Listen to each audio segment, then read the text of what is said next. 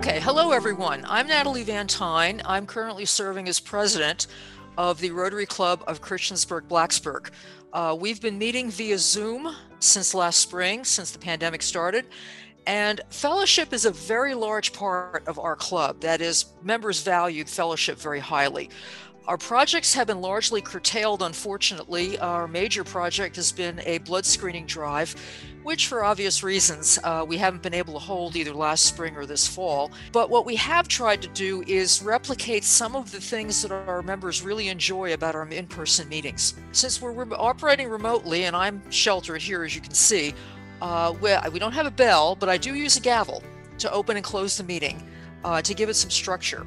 We also open our meeting about a half hour earlier than we would normally start, uh, that is before our opening, uh, to give our members time to check in and to uh, small group, you know, to chat.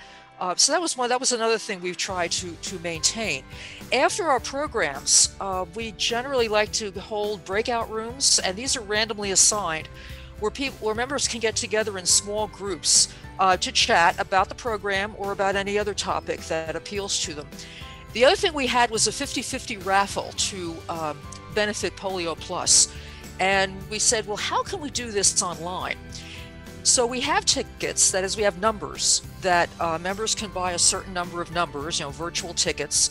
And we choose the numbers using a random number wheel, that is a, literally a wheel that spins, so that um, the sergeant at arms would enter the uh, range of numbers.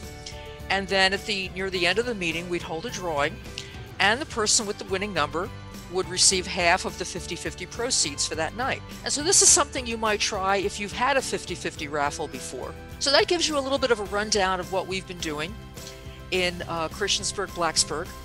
And we hope you enjoy the conference.